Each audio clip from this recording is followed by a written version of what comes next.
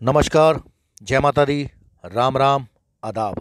मेरे दोस्तों, मैं हूँ राम भैया भगत जी, जिला गाजियाबाद, उत्तर प्रदेश से, और आप देख रहे हैं भगत जी के टोने टोटके मेरे दोस्तों, आज मैं आपको बताऊँगा कि मोर का पंख, मोर के पंख से आप कैसे वशीकरण कर सकते हैं। मगर मेरे दोस्तों, वीडियो को पूरा देखिए।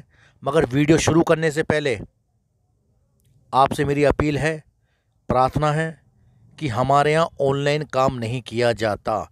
यदि कोई बाबा हमारा नाम लेकर या हमारी फ़ोटो लगाकर या हमारी वीडियो लगाकर आपसे पैसे की डिमांड करता है, यानी कि ऑनलाइन पैसा डलवाता है तो आप ऐसी गलती बिल्कुल भी ना करें। मेरे दोस्तों, जो फर्जी बाबा होगा, जिसे कुछ नहीं आता, सिर्फ़ जिसे ठगी आती है, वो ऑनलाइन काम करते हैं। जो जैनवन होंगे, वो आपसे मिलेंगे, आपसे बातचीत करेंगे आपसे रूबरू मिलेंगे, आपकी समस्या का निवारण भी बताएँगे। तो मेरे दोस्तों, हमारे यहाँ ऑनलाइन काम नहीं किया जाता।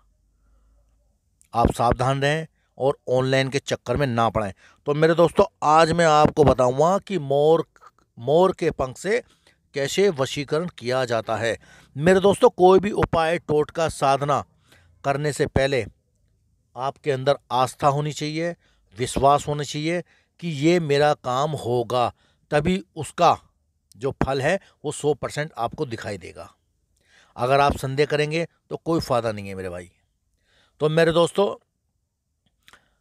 क्या करना है आपको? यदि कहीं पे आपको मोर दिख जाए और वो भी नाचता हुआ तो उसका जो पंख है, अगर कोई पंख उसका टूट के गिर जाता है तो उस पंख को आप लेके आ जाइए घर पे। और जो आपकी प्रेमिका है, चाहे वो पत्नी है या प्रेमिका है, उसके शरीर से छुआकर उसको अपने पास रख लेना है और 11 दिन तक आपको श्री कृष्ण भगवान राधा रानी और किशन जी के सामने वो पंख रख के ओम वासुदेवा है नमा अमुक को मेरे वश में कर। ओम वासुदेवा है नमा अमुक को मेरे वश में कर। ये मंत्र आपको कम से कम 108 बार जपना है और उस पंख को लाल रेशम के कपड़े में लपेट कर अपने पास रख लेना जहाँ आप सोते हैं। तो मेरे दोस्तों, कुछ दिनों बाद आपको फ़र्क दिखना शुरू हो जाएगा, मगर इसके बाद आपको एक टोटका भी करना पड़ेगा, क्योंकि कोई भी चीज़ हो बिना भोग के नहीं चलती। चाहे वो अच्छी शक्ति हो, चाहे वो बुरी शक्ति हो, भोग देना अनिवार्य होता है। तो मेरे दोस्तों, कम से कम 21 दिन कच्चा दूध किसी काली कुतिया को आपको पिला देना है और उस पंख को आपको अपने बिस्तर के नीचे रख लेना है। आप देखोगे आपके और आपकी प्रेमिका के बीच में तालमेल ज़बरदस्त बैठ जाएगी और वो बेहद आपसे प्यार भी करने लगेगी। मगर मेरे दोस्तों, इसी चीज़ को अगर आप अपने गुरु द्वारा कराओगे तो उसका जो रिज़ल्ट है, वो काफ़ी पावरफुल आएगा और हंड्रेड परसेंट आएगा। क्योंकि मेरे दोस्तों अपने आप करने में और गुरु के करने में बहुत फ़र्क होता है। मगर मैंने आपको ये उपाय बताया, आप इसको आजमा सकते हैं।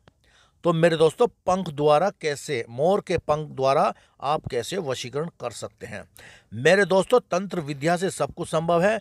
इसको मानना या ना मानना, ये आपकी बुद्धि पर निर्भर करता है।